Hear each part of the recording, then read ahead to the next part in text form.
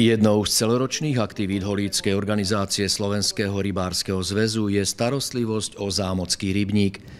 Počas sezóny trikrát do týždňa uskutočňujú prikrmovanie nasadených rýb, ktorých je vo vodách rybníka takmer 3 štvrte tony. Na jedno krmení dávame 3 metráky, to znamená 6 vrec dobrej, kvalitnej pšenice.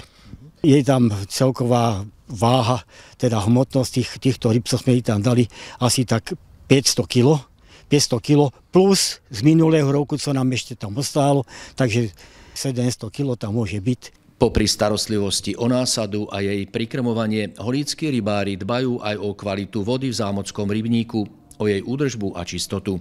V prvej rade hledíme, robíme vždy takový kontrolný odlov a podľa, podľa zdravotného stavu zistíme, co tej rybe je. Jarná výroza tá sa vyskytuje väčšinu ráno, väčšinu z jara No a potom je tam, potom je tam ten cuzopasník a to, to v zárodku sa snažíme zlikvidovať. Máme nejaké léčiva, pravda, prostriedky na to, tak to, značí, to, to skúsime a hneď to zlikvidujeme v zárodku.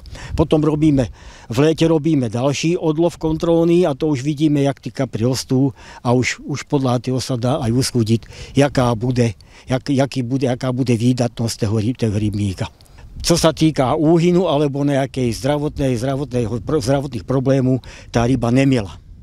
Tak ukazuje sa, že bude aj dobrá ryba zdravá. Na výlov, no, tak už sa tešíme.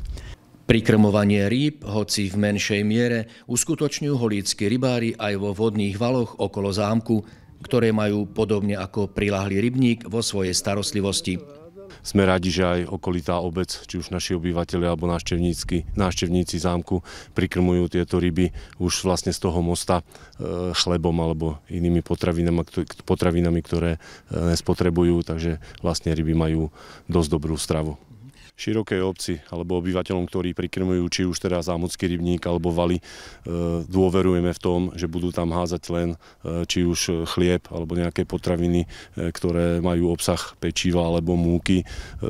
Dúfam, že tu nehádžu niečo, čím by nám mohli tie ryby otráviť a prísť teda či už vo valoch alebo zámockom rybníku k úhynu a teda k našej spoločnej škode. Prikrmovanie rýb v obhospodarovaných revíroch je však iba jednou z celoročných aktivít miestnych rybárov.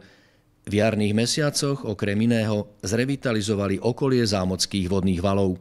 Takže ako každoročne niekoľkokrát počas roku e, mesto kosí vlastne svach tých valov, avšak ten stroj sa nedostane až na koniec. Zostávajú tam také strcule, či už palachu alebo trávy, tak naša organizácia v rámci obospodarovania tieto strcule e, kosí po, celej, po celom obvode. Taktiež sme tento rok vykosili e, palach pri svietidlách, ktoré nasvedcujú hradby tu našeho zámku. Prebiehajúca pandémia koronavírusu však aj holíckým rybárom zmenila plány tohto ročných aktivít. Nakoľko sa vo výbore nachádzajú osoby z tzv. rizikovej skupiny, museli sme dočasne zrušiť administratívne hodiny na e, Slovensko-rybárskom zväze našej organizácie. E, aj z dôvodu e, tejto pandémie bola naša organizácia nútená zrušiť väčšinu akcií, ktoré sme mali naplánované v tohto roku, čiže či už to boli zo začiatku, z 22.3. tohto roku sme zrušili členskú schôzu, pričom rada e, konanie tejto členskej schôze aj v iných organizáciách termín predložila do konca októbra 2020. Ďalej naša organizácia bola nútená zrušiť všetky rybárske preteky, či už e, zahajovacie e, na Adamove, na, na štrkovisko Adamov 1 a Adamov 2, taktiež sme zrušili detské rybárske dni.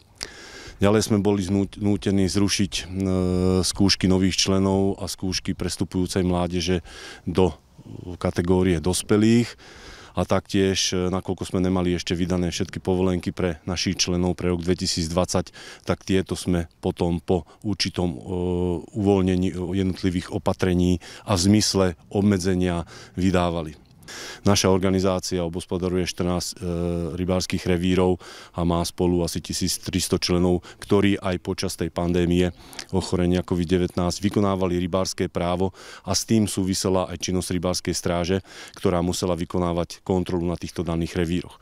Taktiež v tých 14 rybárskych revíroch, revírov je potrebné nejako obospodarovať, takže jednotliví hospodári, ktorí majú pridelené tieto rybárske revíry, museli vykonávať svoju činnosť. Bez toho by sa to proste nedalo. Kvôli prijatým opatreniam v súvislosti s koronavírusom boli zrušené aj aprílové preteky o pohár primátora mesta Holíč. Aktuálnu sezónu chcú však rybári zakončiť tradičným výlovom zámockého rybníka na prelome októbra a novembra.